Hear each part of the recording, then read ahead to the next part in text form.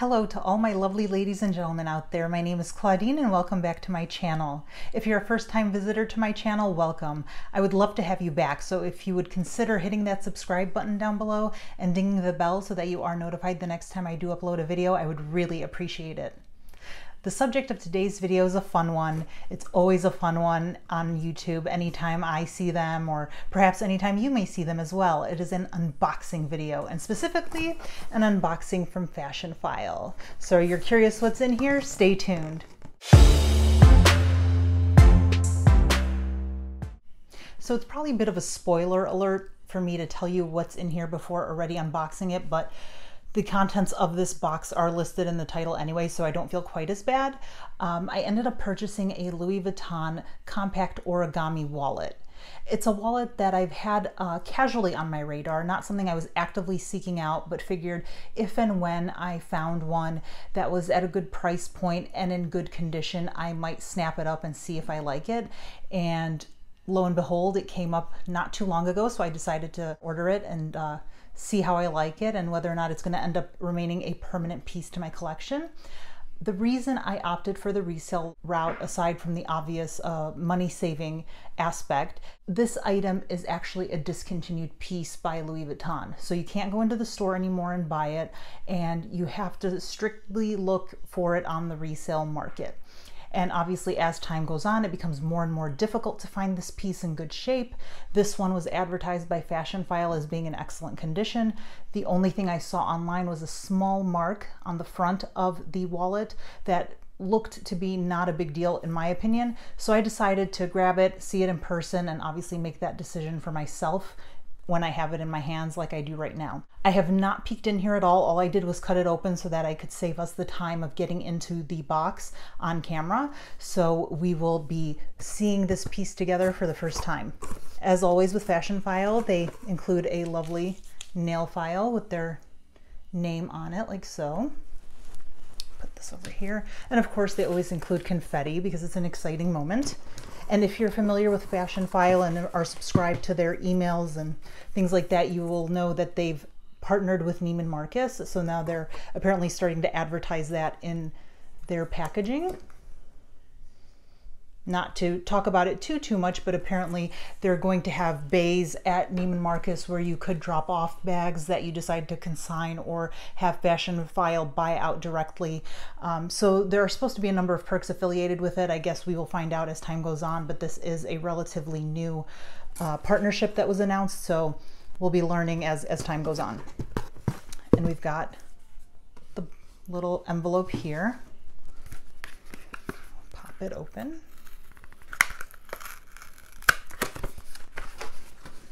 It's got the receipt for the item I purchased. Certified Fashionphile. This just basically guarantees that the piece you're buying is authentic and is protected by their authenticity guarantee. If at any time in life it is determined that it was a fake piece, they've got your back and will obviously reimburse you the money. We want this bag back, or in this case, wallet. It's always fun to get pieces from them. It's like Christmas.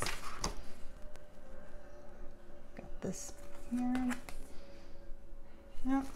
Another pull for this uh, wallet for me was the fact that the chatter about this wallet on the resale market was the fact that it obviously is compact but can hold a lot.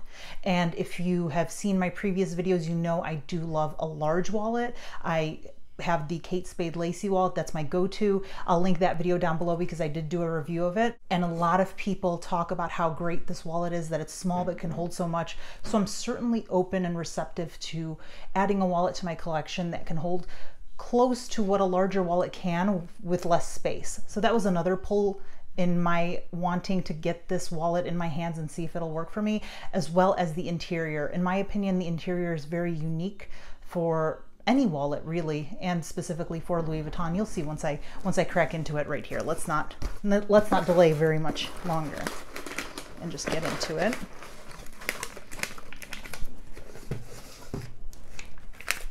Got the little box here. It says used is the new new.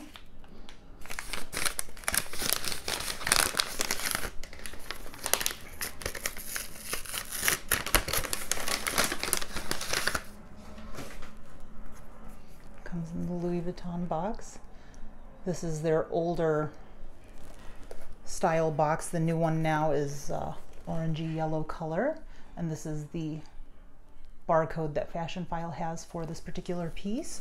Um, I tried to do a little bit of research just to kind of give you guys some information.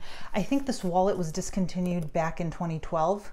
If anyone knows for sure or if that is incorrect research on my end, that's what I was able to find. Do let me know in the comments down below so that obviously I can be a little more knowledgeable about this particular piece.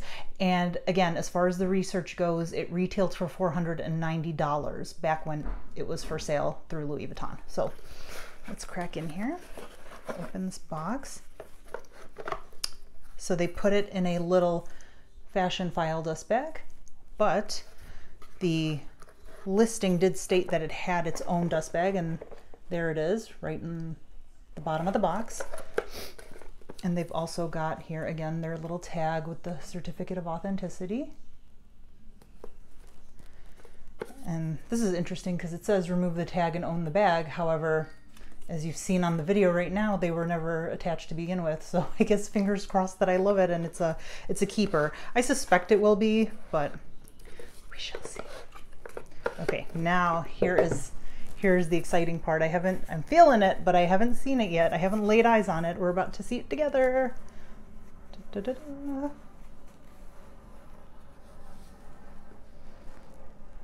okay, you're actually looking at it before me. I haven't seen the front. So like I said, this is the Louis Vuitton Compact Origami Wallet. See, this was the mark that they said was on the front. I'll look at it obviously once I flip it around and, and give it a better look but that was the one mark that they stated online and like I said it didn't seem like a big deal to me so I figured you know what let's get it home and and make that decision in person. Like I said it's not available in stores with time. It's becoming increasingly more difficult to find it in good condition. This was listed as excellent.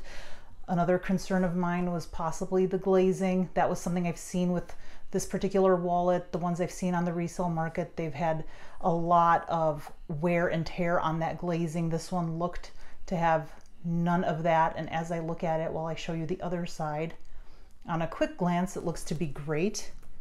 The button, let's see if we can zoom it in up close, probably not.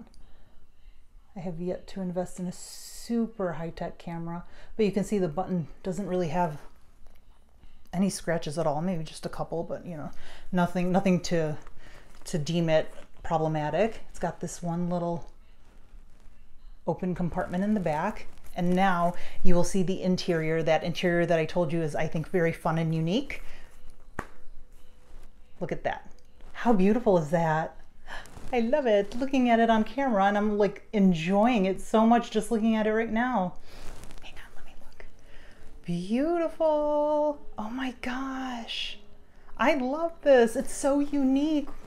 Look at that, you guys. Isn't that fun? Tell me that's not fun. So much fun. So it's my understanding one, two, three. Yep. It has it holds four cards here and four cards here. So eight cards total in this little itty bitty wallet. And then it's got the bill compartment back here. So you can slide the bills right there. And then actually I didn't mention or show in the front, this is the coin compartment. And this is where you've got the Louis Vuitton made in France. Hopefully that is focusing for you guys to see that. And I think this is probably, I don't know where they have the date stamp in here. Maybe not right there. Let's see. It's probably in here, maybe somewhere in here. I saw it online. Found it. It's right in here. Gosh, they hide that sucker pretty well, don't they? It's right in there. You see, it's just right there. That's the date code. Well done. Well done, Louis. Hide that pretty well. And also in here, before I forget, we've got the little textile card that says coated fabric. And it also has the original barcode from Louis Vuitton. If you can see, if it'll focus, it says Louis Vuitton on the little snap there as well. Beautiful soft leather. This is for sure an excellent condition, as they stated. It is beautiful. And look how lovely that is, the, the floral print right there, how it lines up so nicely. This is a special piece. I think this is gonna end up being a keeper. Does anyone out there have this? Do you guys love it? Did you have it and then sell it? If so, why? I'd love to hear your thoughts if you've ever had this wallet or if you still do and it's your workhorse. Hit me up in the comments below and let me know. But I am really loving the look of this. I think this is a really special piece. I think this is going to be a keeper in my collection. Thank you so much for joining me on this very special, very fun, very little, very compact unboxing. And if you did, of course, like this video, please give it that thumbs up, hit the subscribe button down below, and ding the bell so that you are notified the next time I do upload a video. See you next time. Bye-bye.